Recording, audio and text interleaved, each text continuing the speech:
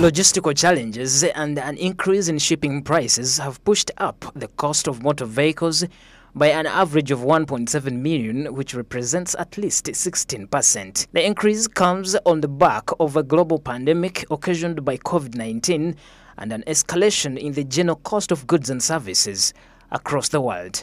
Associated car dealers have therefore recorded a reduction in sales after a rise in price by 16% on the used cars. Barry Albert, the assistant director of Wova Motors, says that the more the prices goes higher, the more they register low turn-up of customers. affected us so much that uh, the clientele base reduced uh, compared to uh, the, the sales we used to make because of the taxes. Yeah, for example, if you you you you you're to invest in 20m in a in a car, uh, then, then then that means you're forced to sell it at 25.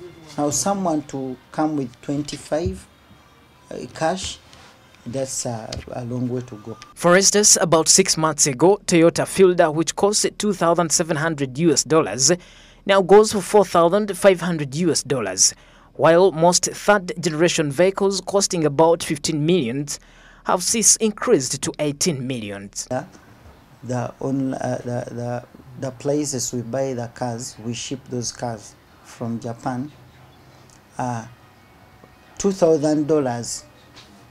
2000 2000 you can buy a car at, at, at 2000 US dollars that's approximately uh, 7m with shipment we, uh, I mean you buy it up to Mombasa being shipped up to Mombasa now you've come here to face taxes.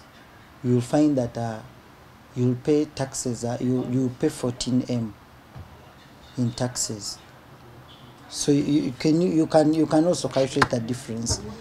7m to 14 so you can see that the taxes are higher than the purchase price. And then uh, not only taxes you after paying taxes you have to go to uh, you, you, you have to buy the third party you have to put in other other other small small taxes for you to be able to access to use the car on the road. Actually they tell you the price uh, they, they, they give you the price with the shipment inclusive.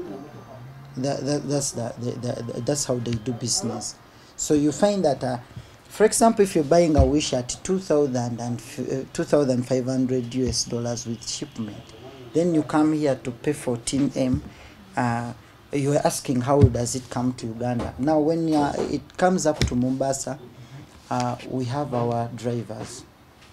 Uh, we, sometimes we, we, we use these rural, rural vehicles to bring the cars but most of the times we, we use our drivers. So you, that's also another expense because uh, you have to, to, to facilitate to, to facilitate that driver to drive that car from Mombasa to Uganda. That, that, that, that, takes approximately uh, 2, 2.2 so the 2.2 you add on the 14m which are the taxes you add on other other small small expenses you end up uh, you you find that the the the the, the, price the, the money you've spent the taxes you've paid here in Uganda higher than the purchase the purchase price. About the prices, dealers said that it has been made once by government's policy which demands that motor vehicles that are older than 15 years cannot be imported into the country. to import cars uh, in, in, in at, at, at any year of manufacture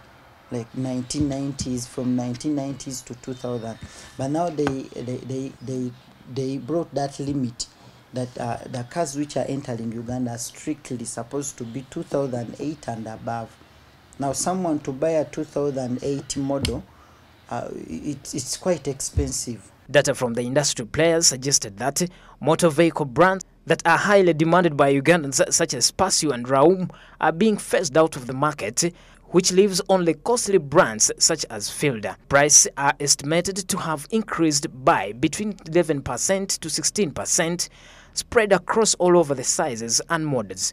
Uganda is a net importer with much of the country's motor vehicle imports sourced from Japan, India, South Africa, and Germany. During the quarter ended December 2021, according to the data from the Uganda Revenue Authority, a total of 12,057 used motor vehicles were imported into the country, earning the government at least 375 billion in taxes. Uganda Revenue Authority data also indicates that 4,060 used motor vehicles were imported into the country in October 2021, but slightly reduced to 3,730 units in November before picking up again to 4,267 units in December.